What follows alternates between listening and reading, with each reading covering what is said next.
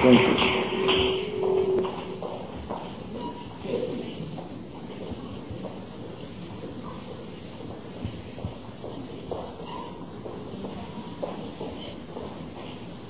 Tonight's subject is signs and wonders.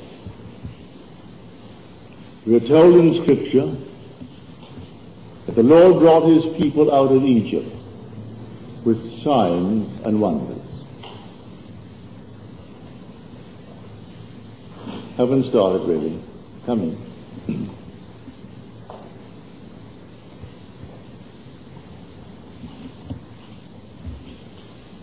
In Scripture, a sign is a demonstration of God's favor. As we are told in the 86th Psalm, and David is speaking, show me a sign of thy favor. He wants a sign, there are certain signs, there are definite signs by which he leads his people out of Egypt. The journey is from darkness to light, from bondage to freedom, from death to life. So while we are here in this world, a world of death, a world of bondage, a world of darkness, there are certain signs, and we ask for the sign of favor to start the journey out of this world of bondage into freedom, out of death into life. In the 78th Psalm, one whose name is Asaph, the word means to gather together, like a historian. Twelve are attributed to this one called Asaph. He is the gatherer. He is the historian. And he begins the story. He said, Give me your ears. He's asking for attention for those that he will address. And then he said, I will open my mouth to you in a parable and utter dark sayings from of old. And then he recites the Exodus.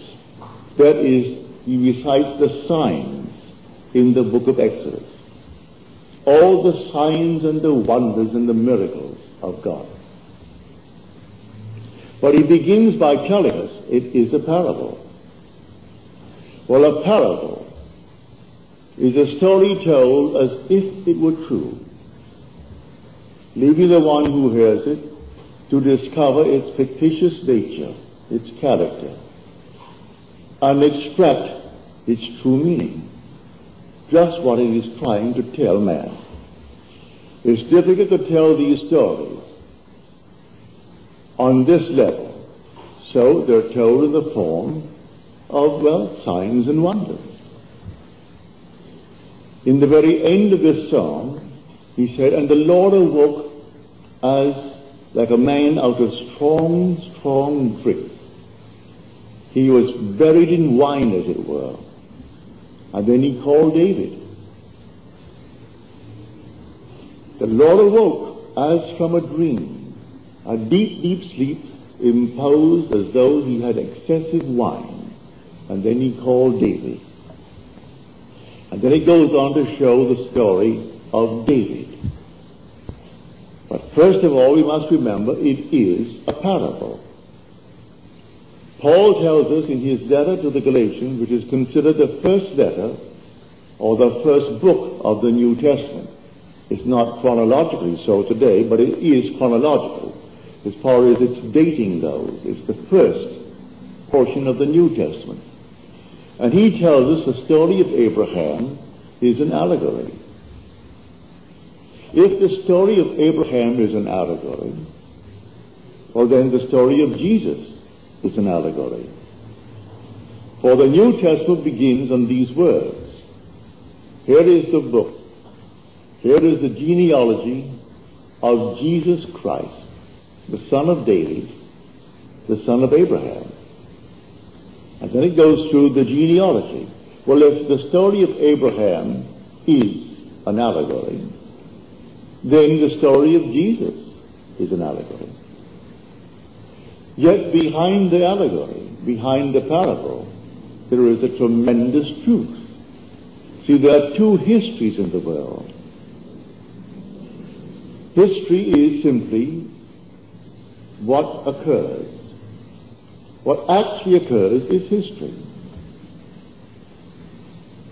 But what man likes to remember is legend. And there is a legend. Scripture is the legend. That too is history, but it's divine history. It's the history of salvation. That will be forever and forever. Human history will pass away and leave not a trace behind it. I don't care how we try to map our faces on the mountainside and build monuments to ourselves and make all kinds of statues. It will all crumble and pass away. Everything that man has ever accomplished in this world will all vanish. But divine history is forever. It's like a standing order. Something to be done absolutely and continuously. So that not one being in this world experiences the signs and the wonders. Everyone will experience the signs and the wonders. And when he experiences these signs and wonders, then he reinterprets Scripture in the light of his own experience of Scripture, in the signs and wonders. He realizes what the birth really means.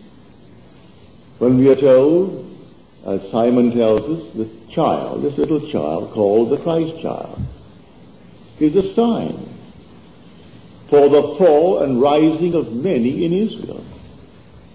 It's a sign. The whole story of Jesus, if you understand it, is a sign. Everything about it, all the things about him, are all signs.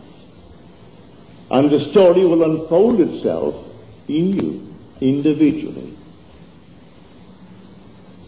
God's mightiest act, in the light of which all the other signs and wonders of Jesus' career are understood, is the resurrection. That begins the signs and wonders. The individual's resurrection is simply equivalent to the coming of Christ. when you are raised, and you will be, it is simply equal to the coming of Christ. And it doesn't come from without, it comes from within. Today, here we are, all of these great evangelists, highly publicized, speaking to millions of people, and they're waiting for him to come from without. Hoping they'll be here to greet him. They'll wait in vain. He cannot come from without because he's already within us. The crucifixion is over and it did not take place 2,000 years ago. It took place in the beginning of time. That's when God was buried in man for a purpose.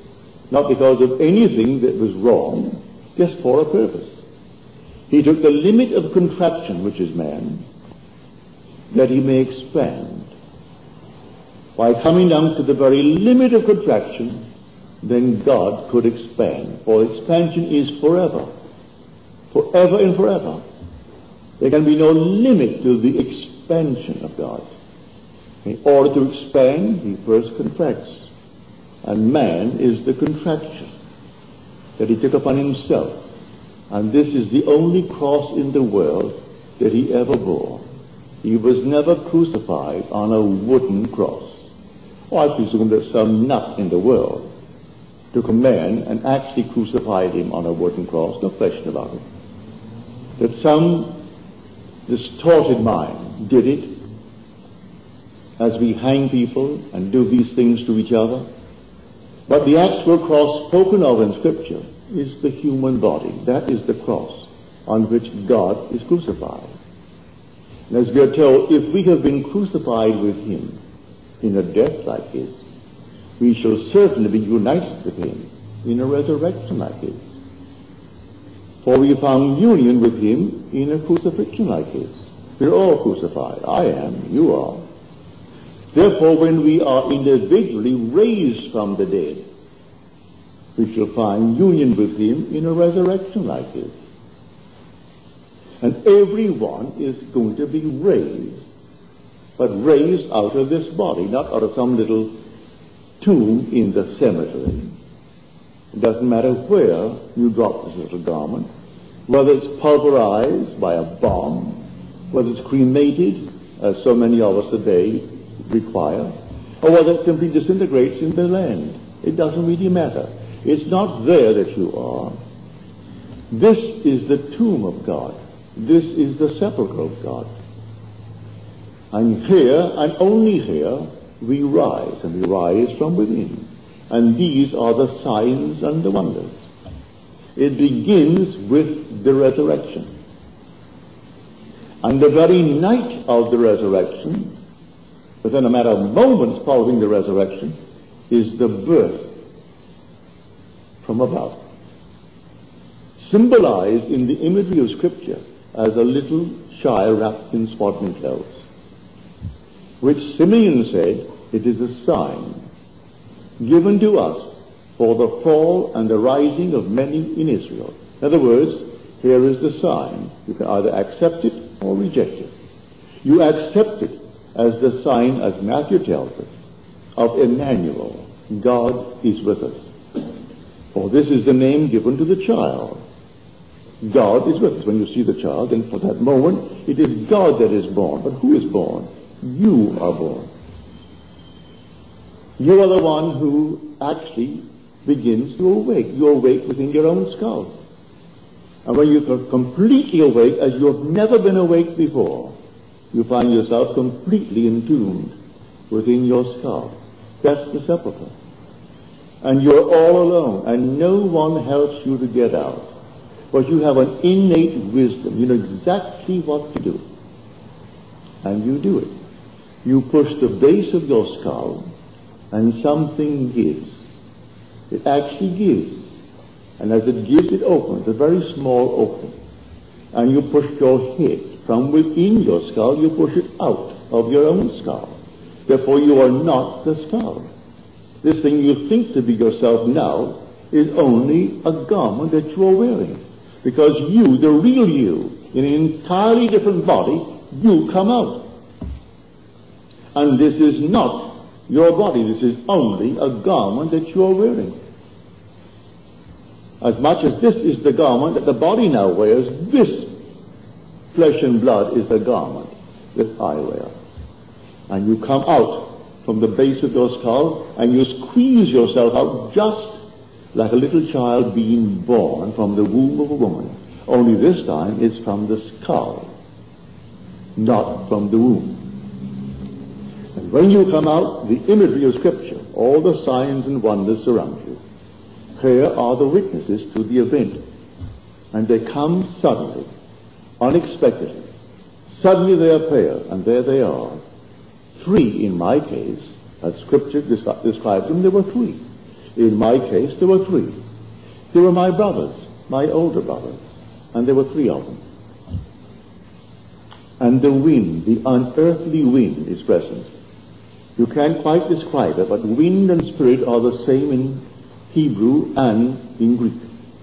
So the wind blows where it wills, and you hear the sound of it, but you cannot tell whence it comes or whither it goes. So it is with everyone who is born of the Spirit. And here is this unearthly wind. And you're disturbed because it's just like a storm, a terrific storm.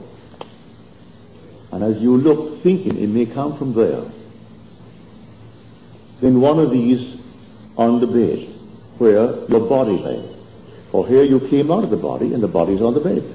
It's ghastly pale. And one gets up to investigate the source of the wind. And as he goes one or two feet, he is attracted by something on the floor. And he lifts what is on the floor, and it's an infant wrapped in swaddling clothes. And he announces what the infant is. And he calls you by your earthly name. In my case, it's Neville. He said it's Neville's baby. The other two, they said in the most incredible voice, how can Neville have a baby? He doesn't argue the point, he presents the evidence.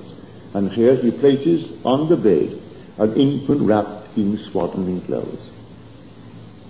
And then I took the infant in my hands, and looking into its face, I said, How is my sweetheart?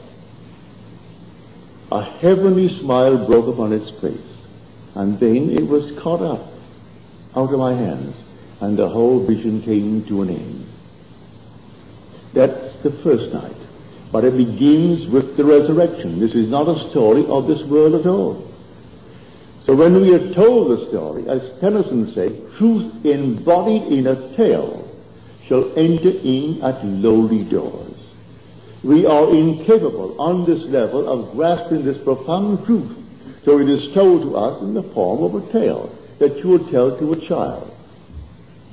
And so my mother told me the tale. Then I went to school and they repeated the tale. And then I went through life and they repeated the same tale.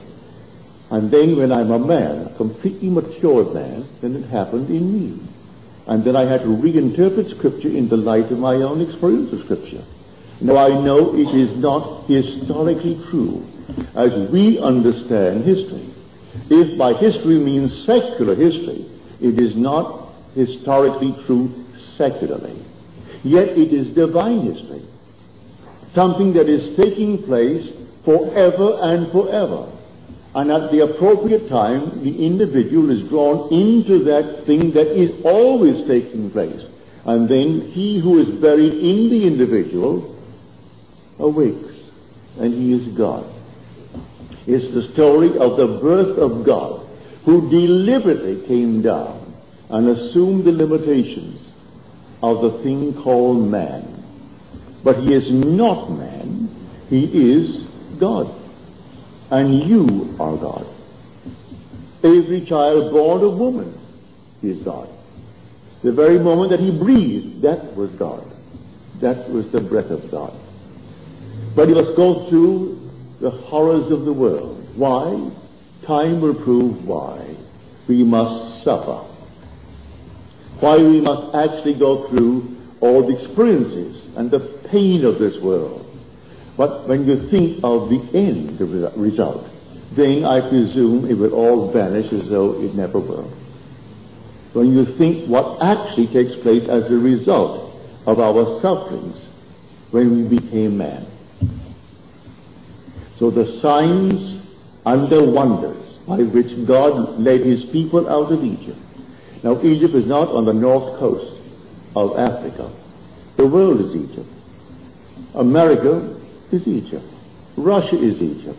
Everything in the world, this earthly state is Egypt. It's a world of darkness, a school of educative darkness. And we are led out of this school of educative darkness into light. We are led out of bondage into freedom. We are led from death, for this is death. Everything here decays. It appears no matter how glorious it is, it appears it's all lovely, so altogether wonderful. And then it waxes, it wanes, and it vanishes. Everything dies. I don't care what it is, it all dies, everything. We are told today by our scientists that the very stars are slowly dying. Trillions and trillions of light years, but they die. That everything dies. So here we are in a world of death, and we are being led out of death into eternal life. And you are that eternal one, and you cannot die. No one in this world can really die. You die, yes, burn it up, and you see it turn to ash. But the being who occupied it is instantly restored to life in a world terrestrial just like this. That's not resurrection. That is restoration. Resurrection is something entirely different. That comes at the end of the journey. When man has gone through the entire gamut of human experiences, then at that moment in time, his Father within him, which is himself, his true identity is God the Father. He awakens him. And as he awakens, he comes out. And then the imagery of Scripture he experiences, but he is cast in the central role. He is the actor, the star actor in the role. He is not an observer. He observes what happens, but he is the actor, the central actor in the part. And if this is a story of Jesus Christ as told in Scripture, and you experience that, well then you are Jesus Christ. And Jesus is only another name for Jehovah. Same root, Yod He Vav, begins Jehovah. It begins Jesus, which in Hebrew is Joshua. So it is simply the same being, and you are that being. It's the story of you. And I wouldn't care if the whole vast world rose in opposition to what I've just told you. It would make no difference to me whatsoever, for I couldn't deny it. I could no more deny what I've experienced than I could the simple evidence of my senses. I am touching this piece of wood here. And I can't deny that I am touching this little lectern. Well, I could no more deny this than I could deny what I've told you, for I've experienced it. I am not speculating. I am not theorizing. The story of Jesus unfolds itself within the individual. And when it does, he has escaped the world of death. So David could say, What can flesh do to me? Thou hast redeemed me. And in the end, you are completely redeemed. And the being, the being that stands before you to prove who you are is David. You would not let me rest in hell, said he. Thou hast redeemed me. And David is simply the personification of humanity. Having played all the parts that man could ever conceive, good, bad, and indifferent, yes, the thief and the judge, the one who is beheaded and the one who beheads, the king and the serf, the giant and the dwarf. I've played them all. And having played them all, there's nothing else to play. And so you come to the end of the journey. When you come to the end of the journey and you've borne your part of the allotted time, well then, you've got a thing to do but awake. And in that moment you awake. And you remain long enough to tell it to your brothers. For every one of the world is your brother. And everyone in the world not only is your brother, but he is your very self. You will reign in the end as one man, Jesus Christ. Only one without loss of identity. Everyone will be the Lord Jesus Christ. And there will be no loss of identity. So I don't care what you have done, what you are doing, what you plan to do, all your hopes, in the end, you are the Lord Jesus Christ. And there is nothing but the Lord Jesus, who is one with Jehovah. He is God the Father. And you eventually will discover yourself to be God the Father. And these are the signs and wonders, has nothing to do with history. So if you look at it, it's a tradition of doubtful certainty. You read the 78th Psalm, which is only magnifying the signs and wonders of the book of Exodus. I will utter dark sayings from of old, sayings that we have heard and known that our fathers have told us. And now I will not hide them from their children, but I will tell them to the coming generation these things that God has wrought. And then he itemizes all these fantastic signs and wonders. Read the signs, and they all unfold within you. But when they unfold within you, they are so unlike what they appear to be when you put them down in the written form. that wonder child spoken of in Isaiah. And you see it in Isaiah, and a child shall be born, not of any virgin, as the churches teach. Just a wonder child is born, and his name is Emmanuel. God is with us. And unto us, we are told in the ninth chapter of Isaiah, a child is born, and a son is given. And then we name the four names or titles of that one. One of them is Father, everlasting Father. And here is this something unfolding in you. Well, how am I a father? I am a father. I have a son, 47 years old. I have a daughter 29 years old. But that's not the fatherhood of which the Bible speaks. It speaks only of the one child. Well, here we are told in Genesis that Abraham had a son, and he named him Ishmael.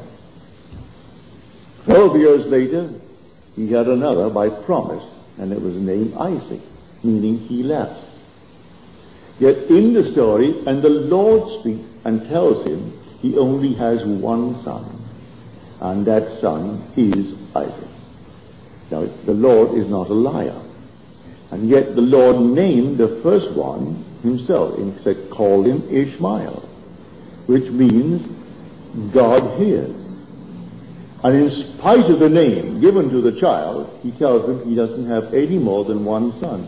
And that son is Isaac, which means he laughs. And that's the one son. You hold him in your hand, and he breaks into the most heavenly smile. That's the sign. And all the signs of Scripture are true, but they're not what the world would call secular stories. They're not. They can look forever, all through the Near East, to try to find the tomb of this one or the tomb of the other one. And all the little things they think they're going to find, they'll not find them. For this is not of this earth. This is entirely different. There are two histories. Secular history, which will vanish and leave not a trace behind it. And divine history is forever and forever. And the very last one experiences the story of Jesus. And when the very last one, then the whole curtain comes down on the play. And we're all one. We all form the one being, the one body, the one spirit, the one Lord, the one God and Father of all. And there is no other. So I'm not telling you that you should not aspire and try to be greater than you are today. No. Keep on making every effort to transcend your present state. Do it. It's all within the book for you to do it. Dare to live in the end of your dream as though it were true. And it will become true. Just as Frost told us, Robert Frost, our founding fathers did not believe in the future. They believed it in. They didn't believe in the future, that something is going to happen regardless of what I do. It will happen because of what I do. Everything in my world is like imaginal activities projected. And I will make a better world or a more horrible world, depending on my imagined activities. But that's something entirely different from what's taking place in me, which is the story of Jesus unfolding. And it comes suddenly. It erupts without any warning whatsoever. But the things on the outside, if I know what I have imagined, I can tell what's going to happen in my world. I don't need the stars. The stars, they're Brutus, as you're told in Shakespeare. It's not in our stars, but in ourselves that we're underlings. Don't look to the stars to give you any direction as to what's going to happen to you, or to any teacup leaves or monkey bones or anything else. It's not there. It's all in your own wonderful human imagination. Tell me what you're imagining, and I'll prophesy for you. If you are faithful to that imaginal act, if you dare to assume that you are the man that you want to be, and remain faithful to that assumption, I can predict what you're going to be. if you remain faithful to it. And it's not based upon any star or anything else outside of you. It's all within your own wonderful human imagination. But no matter what you accomplish in this world of Caesar, it will all vanish. It is what was predetermined before that the world was that interests me. And that's all written in Scripture, in the signs and the wonders. And so his life, Jesus' life, you understand what it means, is a sign. His whole life is a sign, if you understand it. And that whole life is going to repeat itself in the individual without the change of identity of that individual. You don't change from Neville to Jesus. You're still Neville, but you are the Lord Jesus Christ. A friend of mine, when I was in San Francisco in July, he's here tonight, and he wrote me a letter. He said, I've had the most exciting vision that I have ever had. He said, in my vision, a woman said to me, Neville has risen. Then pointing down the corridor, she said, look, at the end of the corridor was this effulgence of light, golden, pulsing, living light. And I knew that you were my friend, the man Neville that I know. Yet I knew that you were the Lord. I knew that at your home it is always an open door for me. I could come to your home any time of the day, and you would welcome me without an invitation. Yet at this moment, I felt this needs a special invitation. And so I hesitated to go. But I knew that if I went, went down that corridor and turned off into the area where the light came in this enormous profusion, I would enter into the Holy of Holies. Yet I knew that you were my friend. A man that I know in this world, and yet I knew you to be the Lord, the risen Lord. Now, he wrote me that letter, and I was there after my first week. I got it the second week that I was there. He said it was my most exciting vision, but I knew I was not invited. But I also knew that you always said to me, I will appear to you, and I will show you who I am. I have told many of you that, and I will. I have appeared to many because it has happened indeed. It's not anything to brag about.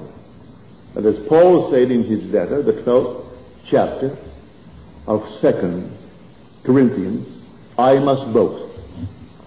There is nothing to gain from it. But I know a man in Christ who was lifted up 14 years ago into the third heaven. Now, whether in the body or out of the body, I do not know. God knows. But I do know a man in Christ who was lifted up into paradise. Whether in the body or out of the body, I do not know. God knows. Now he tells us he saw and heard what cannot be uttered. It's stated in certain, I would say, translations that it's not lawful. It isn't that it's not lawful. You can't find words to tell it. There's nothing unlawful about telling about experience, but how are you going to find the images to tell it? You saw and heard things that are not lawful to be spoken.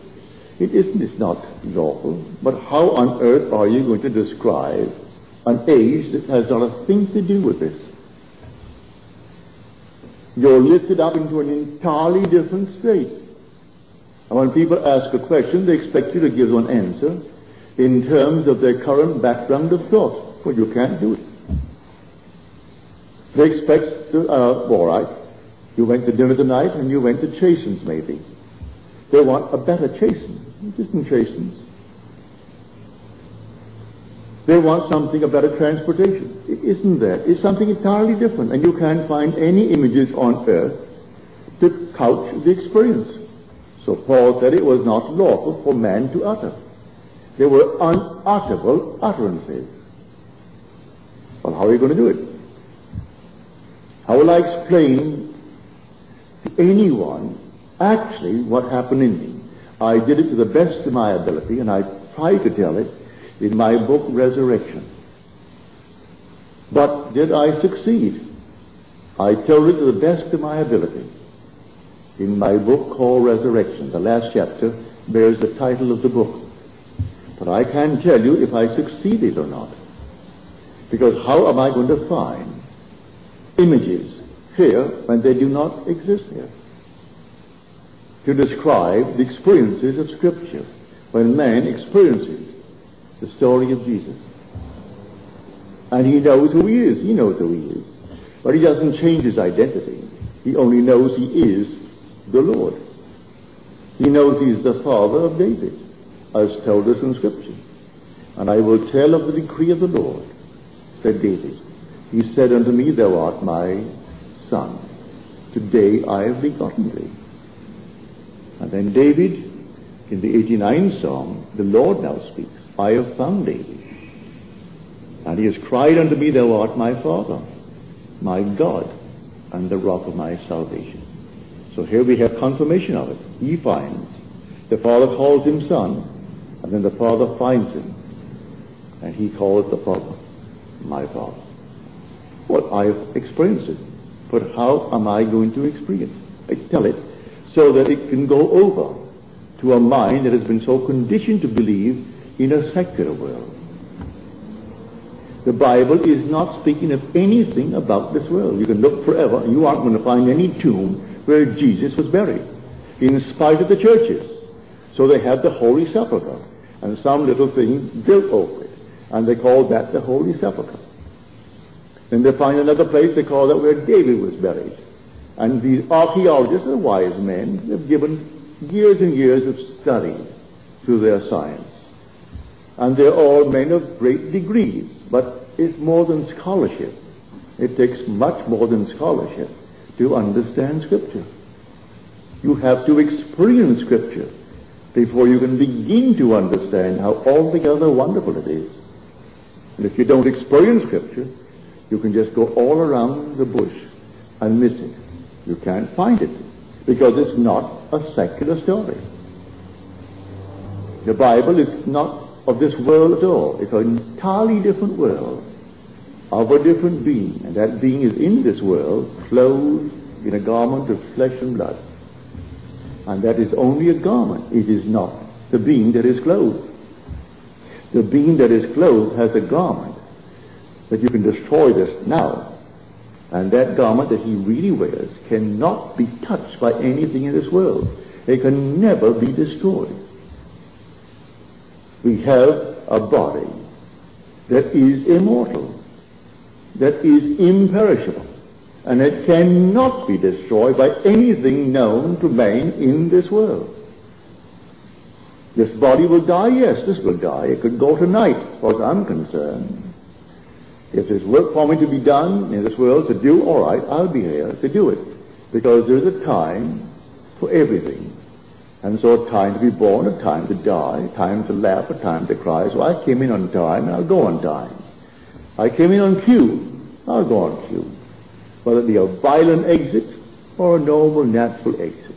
From old age or what they call a heart attack. I don't care what they call it. They'll give it some kind of a name. Because in this world of Caesar, we have to have a name for everything. Because it's insured. You aren't going to pay the insurance unless you can just prove that it had some reason for going. But I say I came on time. I'm going on time, and no doctor in the world will prolong my departure one hour. As taught in Scripture, who by being anxious can add one hour to his span of life. Really carefully. It used to be thought that it meant one cubit, which would be, say, 30 inches to his stature, like suddenly growing up 30 inches. No.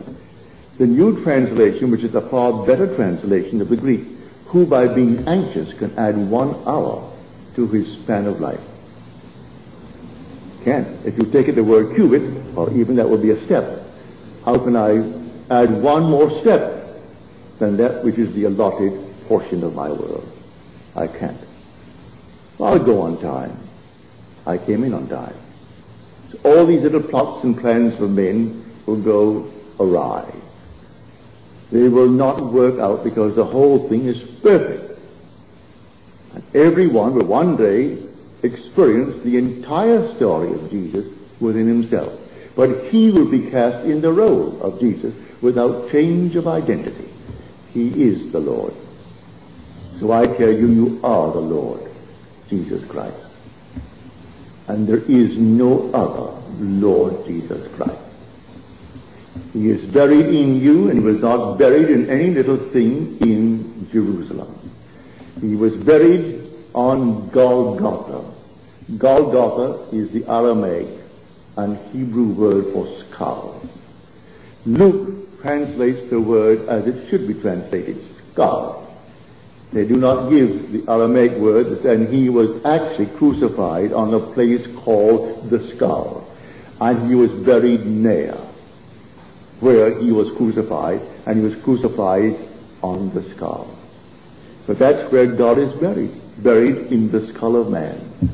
It is there that he's going to rise. He's going to rise in man. And when he rises in man, you are the Lord Jesus Christ. For in the end, there is only Jesus. There is nothing but Jesus. Now let us go into the silence.